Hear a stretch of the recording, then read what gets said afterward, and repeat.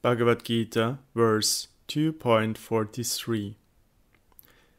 Dedicated to attaining the heavenly planets, those whose hearts are contaminated by lust perform many elaborate sacrificial rituals that bestow aristocratic birth and award the result of their fruitive activities. They declare these to be the highest objective of the Vedas. Sararthavarshini.